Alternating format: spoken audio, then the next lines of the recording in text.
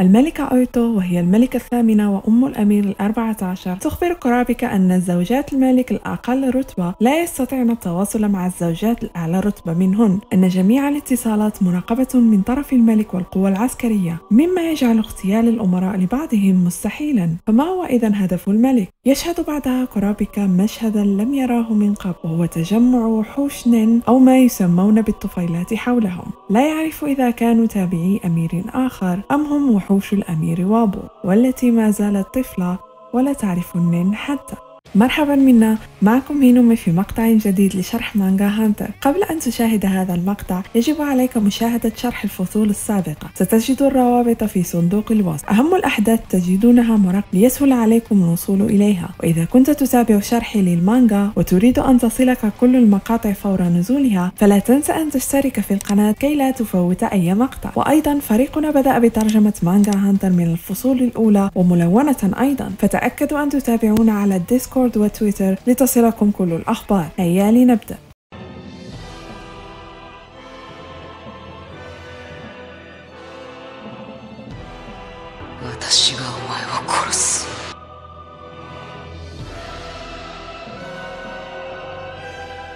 بدأت الرحلة إلى القارة المظلمة في سفينة الحوت الأسود وستستغرق شهرين. تشرح المذيعة أن الأسابيع الثلاثة الأولى سيكون الإبحار داخل العالم الصغير وبعد الخروج من حدود العالم الصغير سيصبح الطقس متقلبا وستكون هناك عواصف أعاصير العديد من التقلبات المناخية وأيضا مخلوقات طائرة خطيرة لا توجد في العالم الصغير. وبعدها بخمس أسابيع ستصل السفينة إلى القارة الجديدة. جمعية الصيادين أوهمت العامة أن هذه القارة هي القارة القارة المظلمة لكنها قارة مزيفة تم تغييرها كي يحفظوا سلامة الركاب العاديين وأفراد العائلة الملكية من أخطار القارة المظلمة. وبعد وصولهم وتركهم هناك في القارة الجديدة سيكمل الزودياك وبيوند إلى القارة المظلمة أو العالم الجديد مرورا بمقار العبور إلى المياه الحدودية أين يوجد حارس البوابة. وستكون وجهتهم الأولى في القارة المظلمة هي مدينة المتاهة كما لمح لها ستينر.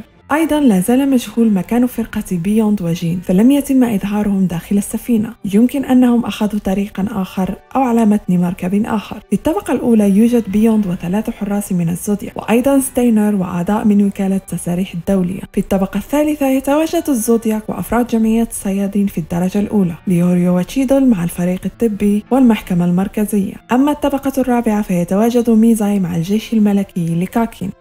عرفنا في الفصول السابقة أن سايو هو خائن الزودياك وهو مخبر باريستون. وعرفنا أيضا أن بيوند لا يعرف بهذا الأمر. والآن بعد بدء الرحلة إلى القارة سيبدأ سايو بتنفيذ خطة باريستون. لكن كورابيكا وميزاي يعرفون تماما أن سايو يريد إطلاق سراح بيوند فور وصولهم إلى القارة الجديدة أو المزيفة والتي سينزل فيها العامة ظنا منهم أنها القارة المظلمة. ولهذا كورابيكا سيقبض على سايو قبل وصولهم إلى القارة الجديدة. لكن ما لا يعرفه كورابيكا وأن باريستون بنفسه قال في الفصل 346 أنه ليس هناك أي خطة لزهر بيبيون. هو سيهرب بنفسه وسيلتقي بهم في القارة المظلمة. إذا ما هدف باريستون وسايو؟ لكن اكتشفنا أن هناك أسرار كثيرة يعرفها باريستون على حسب تحليل كورابيكا منظمة الصيادين سمحت لكل أمير باتخاذ 15 صيادين مؤقتين كحراس. هؤلاء الصيادين تم امتحانهم وتجنيدهم فقط لأجل الرحلة أي أن لهم رخصة مؤقتة. وتم تغيير قانون امتحان الصيادين لقبولهم حتى وإن كانوا غير مستخدمين. المنظمة ظنت أن هذه الطريقة هي الأنسب لعدم تجنيد دخلاء أو خونة لكن هذه الطريقة جعلت كشفهم صعب لأن أغلب أغلب الصيادين تم تجنيدهم من قبل الأمراء ويمكن أنهم لم يعلموا بحرب الخلافة. لهذا لم يضطروا إلى الكذب وهكذا نجوا من سلسلة كورابيكا. للتذكير فكورابيكا استطاع كشف كذب ماهر وباريستون قال أن كل من أرسلوا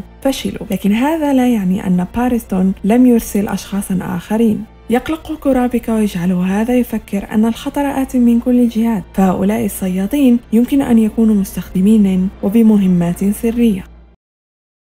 الأمير الأول بنيامين الأمير الثاني كاميلا الأمير الثالث تشوراي بالياباني أو تشانلي بالصيني الأمير الرابع سيريدنيش الأمير الخامس توبيبا وهي بنت الأمير السادس تايسون الأمير السابع لوزورو الأمير الثامن سالي سالي الأمير التاسع هالكنبر الأمير العاشر كاتشو الأمير الإحدى عشر فوجيتسو الأمير الاثنى عشر موموزي الأمير الثالث عشر مارايام والأمير الأخير وابول. التوأمان الأمير كاتشو وفوجيتسو تتفقان على القضاء على الأمراء الآخرين وأن تصبح كلتاهما الملك. أما الأمير الأول بنيامين فهو متأكد أنه سيكون الملك رغم حراسة الملك المشددة. هو واثق بفوزه ويعتبر كل من لم يقتل على يديه محظوظا لأنه لن يرحمه. تفاجأ كورابيكا في الفصل السابق بروح هالة مرعبة من الأمير وابل مع العلم أن وابل أيضا خاضت المراسم أي أنها الآن ستكون لها وحش مقدس ككافة الأمراء. وللتذكير في تلك المراسم يتم تجسيد الوحش الحامي للأمير. فيتغذى هذا الوحش على هالة صاحبه ويستخدمها لتحويل نفسه على شكل صاحبه. وبما أن الوحوش ليست من صنع صاحبها مباشرة فلا يمكن للمضيف أن يتلاعب بها. لكنه تفاجأ هذه المرة بموت أحد من الحراس والذي تم امتصاص كل دمه. بما أن الهجمات هي هجمات النين يشك كرابك أن قاتله هو واحد من الحراس أو أنه الأمير وابل. فيسأل الحراس عن قدرتهم على استخدام النين. اثنان من الحراس الملكيين ليس لديهم أي فكرة عما هو النين. يشك كرابك أنهم يتدارون فقط. لكنه يسأل الصيادين الذين تم إدخالهم عبر طريق باريستون عن سبب عدم اعترافهم باستخدامهم للنين. يخبرونه أنهم هنا لحماية الملكة وأنهم لا علم لهم بحرب الخلافة.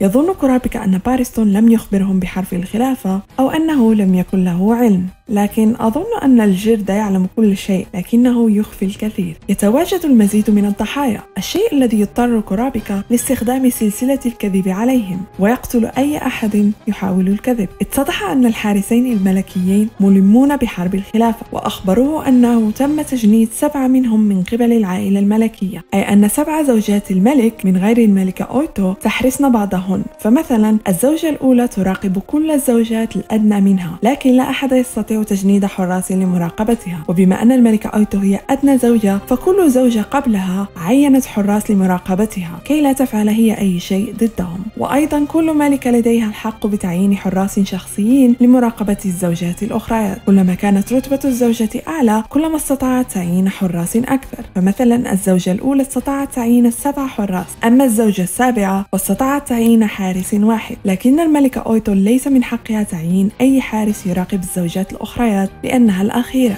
إذا جاءت زوجة بعد أويتو ستكون هي قادرة على تعيين حارس يراقبها. هؤلاء الحراس يحرصون على سلامة الأمير طالما لا يهدد سلامة الأمراء الآخرين.